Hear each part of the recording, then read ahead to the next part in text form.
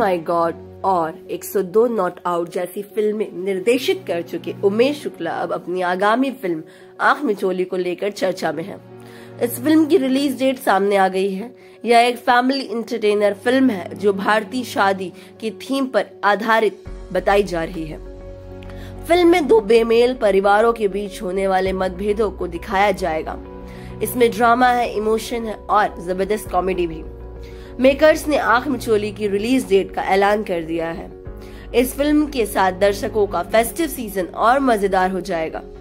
Soni Pictures film India के X handle से film का पोस्टर साझा किया गया है। इसके साथ कैप्शन में लिखा है ओ माई गॉड और 102 नॉट आउट जैसी फ़िल्मों के निर्देशक उमेश शुक्ला एक बार फिर आप सभी का दिल जीतने आ रहे हैं। यह फैमिली इंटरटेनर फ़िल्म आपको हंसने पर मजबूर कर देगी।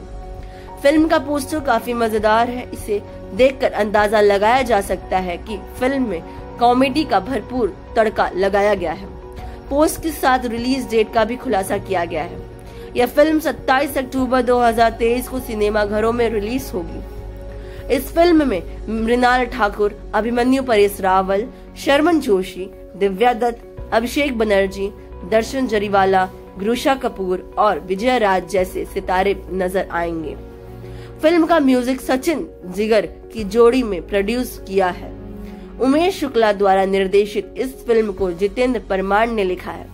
इसे सोनी पिक्चर्स इंटरनेशनल प्रोडक्शन के बैनर तले प्रोड्यूस किया जाएगा।